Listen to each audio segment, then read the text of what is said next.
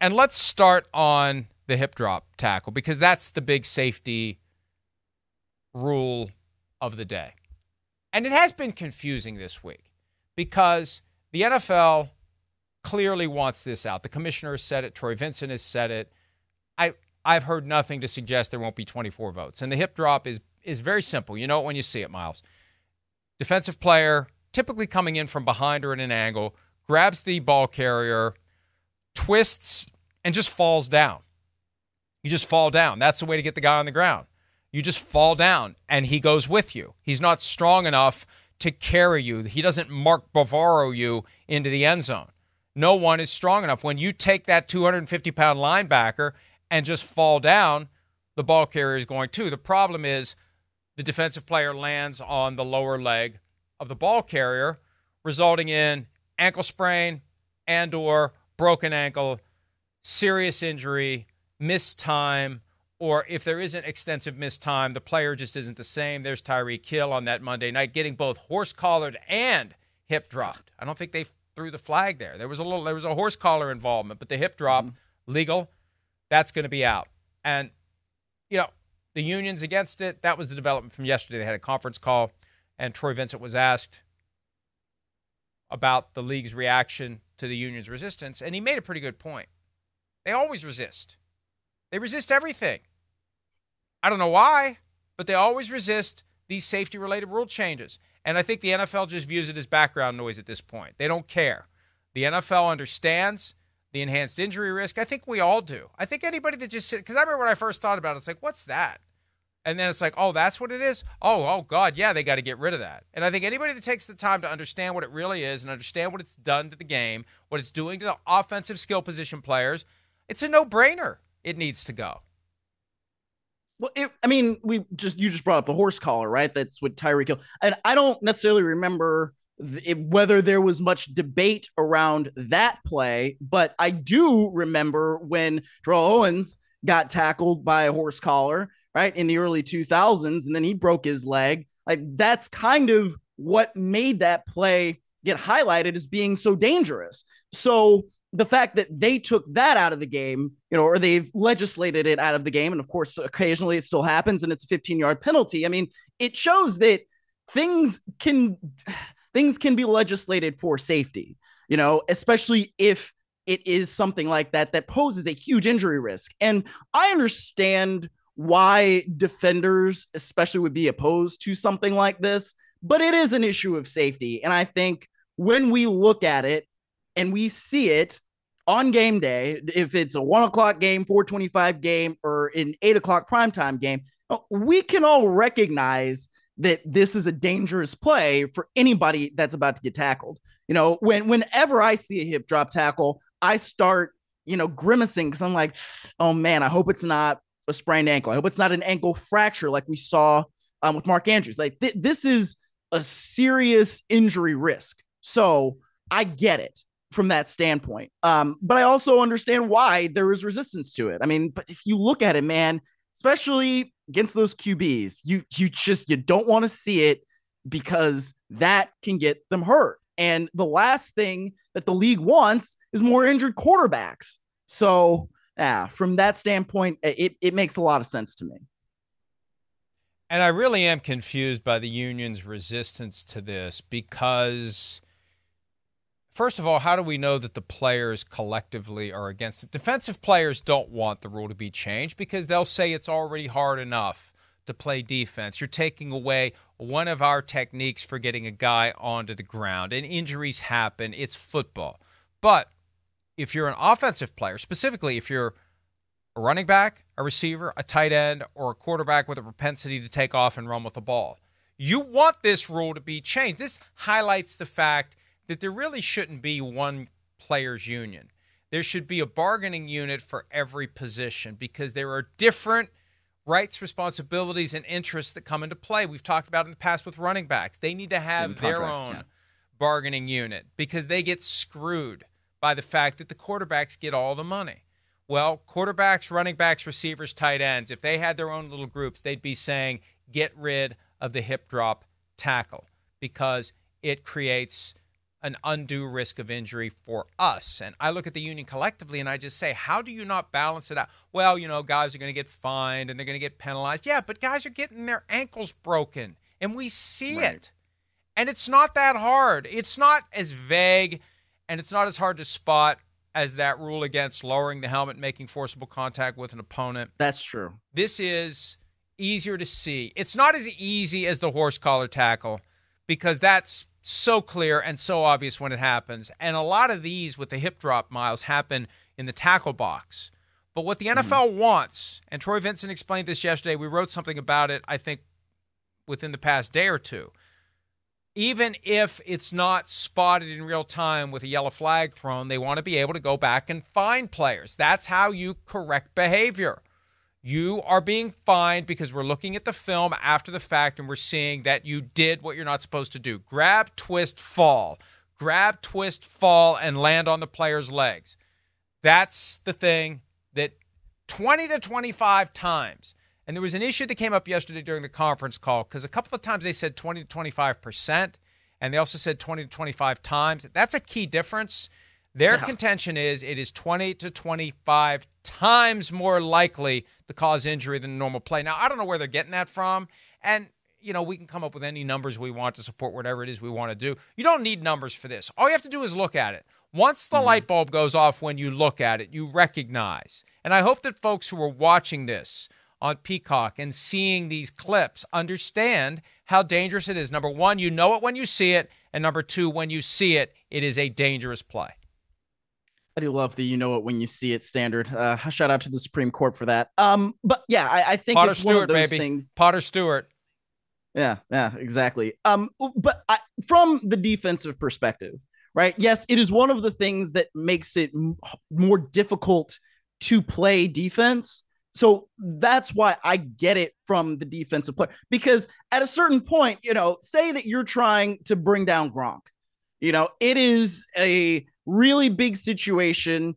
It's third and I don't know, 13, right? And he gets the ball where it would be fourth and seven, and he's got to get these extra six yards. Okay. And you are trying like hell to bring him down, and you can't because he's Gronk. He is a superhuman. It's like having the Hulk out there. Like, this makes it that much more difficult to bring somebody down because at a certain point, like, how the hell are you supposed to do it? I don't know. But that's why we evolve, right? We we have to change in different ways. And I I I, I do I get it from that defensive perspective, but you know, you want your best players to be available. And so because of that, and because this is an offensive league, it's just, uh, unfortunately that's the way that it's got to be. It's going to be harder for defenses to make those kinds of plays. And I, I get the frustration from a defender standpoint, but I also think that if they can do something, the NFL can do something to legislate something so that we can have fewer injuries on game day. I think it's a good idea. And this is one of the consequences of taking the head out of the game as players adjust how they tackle you know, it may be a byproduct of the rugby tackle that the Seahawks embraced when, you know, you go in like that, you go in with your shoulder, you go in with different angles, and somebody realized, hey, this is a way to get the guy to the ground. You know, once I'm grabbing this guy around the waist, his legs are still moving. How do I get him down? I'm just going to fall down and take him with me. And yeah. the NFL, it was explained yesterday during the conference call, they noticed this as they were looking at the causes of high ankle sprains. This was some something the NFL noticed on its own. This was a hey, look at this. Look, this is hey, watch this. Like more guys are starting to do this. And the NFL last year initially tried to get rid of it. I'm surprised they weren't successful last year. That's the only thing that gives me pause about getting enough votes this year. But I think now we all understand it is a serious injury risk. The numbers, even if they are being massaged a little bit, are indisputable. And it's one of those things where you know it when you see it. And, you know, the NFL typically is inclined to change the rules and adjust the rules and tweak the rules in a way that makes it more conducive to gaining yards and scoring points. It fits with everything the NFL's been doing since the mid 70s when they recognized more people are interested in our sport when more points are being scored, especially with the rise of fantasy football. And that's the last Yes. thing I'll say on it, Myles. I'll give you the final word after this. There's so many fans that are against this. I think the only way to get the fans to embrace it is to say, think about what this does to your fantasy teams. Think about what happens when you've got a team that's heading for a championship, or you're going to avoid having to get a tattoo of some personal indignity on your arm if you're last in your league, and you lose your best player because of a hip drop tackle. If you're not going to think about these players as humans who want to play football and need to avoid unnecessary risk of injury, think of them as extensions of your own self interest and your own fantasy team. Your own fantasy team is potentially going to get messed up by a hip drop tackle. I wish people weren't like that, but I think you're right. You know, you you have to. It's the only way. It's the only way to get them to, to come around. It's the I only way to get them to I- come around. I know, I, I, I- know, and you know when you're missing Justin Jefferson for you know half the season or whatever it was because he's got a hamstring injury, like he also easily could have been the difference between certainly like, or I mean, we could just point to Mark Andrews, right? He got hurt with a hip drop tackle. I'm sure that affected people's fantasy teams, but like I don't, I don't. I mean, I, my concern goes to Mark Andrews, the human being first. And I wish Right. that that's I agree. who we could be as humans. You know, like these are human beings. They're not automatons. They're not just people that potentially get you money for or things that potentially get you money, you know, from your fantasy league. Think of people as human beings, guys. Come on. I know. I agree with you completely, but that's where we are. I made this point yesterday because somebody who plays basketball made the comment, and I can't remember who it is because I don't know the modern basketball players. Because as I said back in the early Get segment when. I was tap dancing until we got you, and I, I after Michael Jordan, I just kind of lost interest. But but this player said that he feels like a prop now, and that's look whether it's fantasy sports, whether it's prop bets on games, whether it's just straight old fashioned betting a team to cover the spread or not. Athletes have become the dice on the craps table. They're the cards on the blackjack table. They're the little steel ball that's bouncing around the roulette wheel. That's what they are. They're the implements of gambling.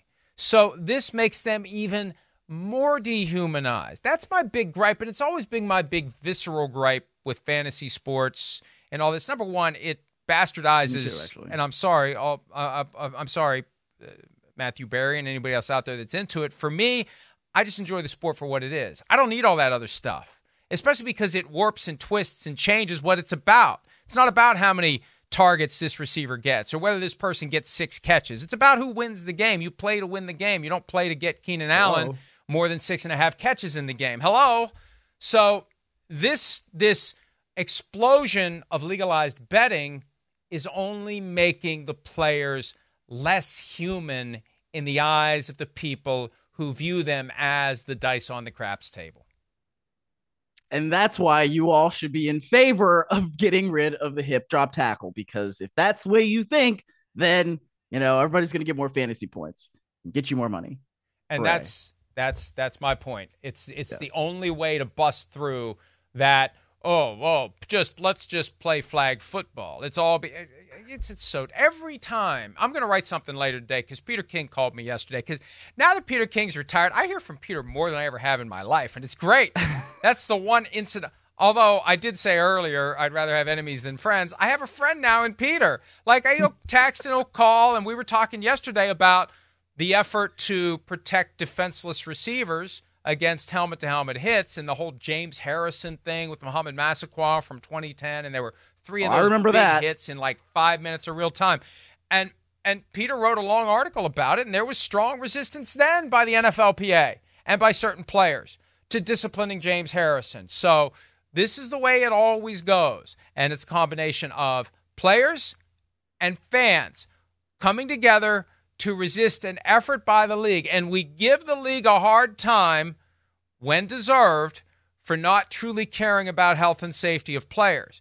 But then we have these specific instances where the league is trying to promote health and safety of players, and the players and the fans coming together in this unholy alliance because the fans don't care about the players as humans, but they come together to say, just make it flag football. Why do you want to do this? Why do you want to change the game? It really is amazing when you see it happen, but it happens. And this is why the NFL is just kind of shrugging at the NFLPA's resistance because they've seen it before. They've seen this movie. They're going to ignore the the pushback and they're going to go do their thing.